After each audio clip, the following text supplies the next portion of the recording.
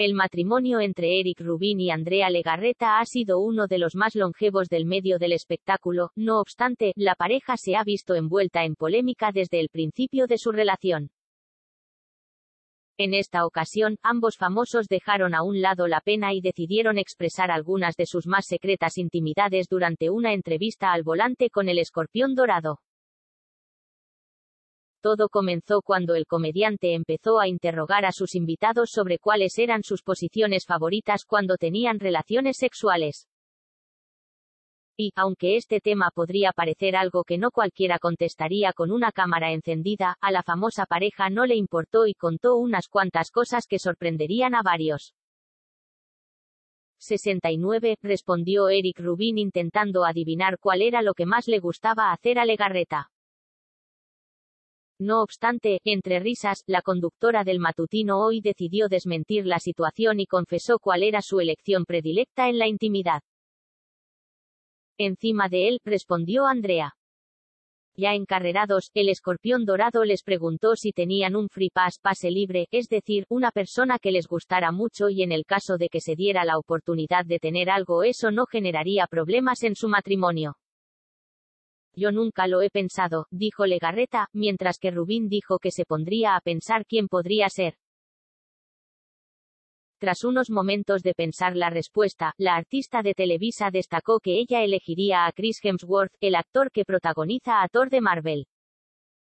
Respecto al lugar más extraño en donde ambos echaron pasión, la pareja confesó apenada que fue en un cuarto de lavandería del Teatro 2.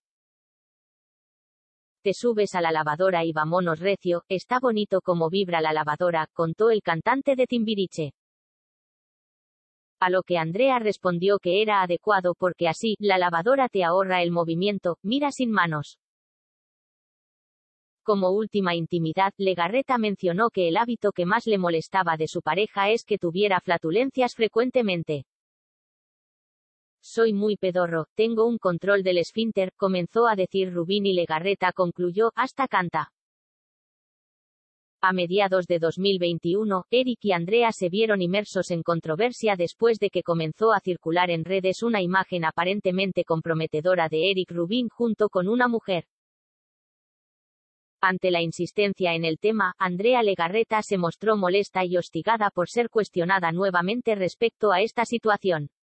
Su incomodidad fue principalmente que los reporteros no se detuvieron ante la presencia de sus hijas Mia y Nina, pues ambas son menores de edad. La familia se encontraba saliendo de la obra de teatro God, la cual llegó a sus 100 representaciones. Andrea Legarreta resaltó que los reporteros de diversos medios debían tomar en cuenta que se encontraba en compañía de sus hijas y expresó su tristeza por la atención que se le daba a una situación sin sentido.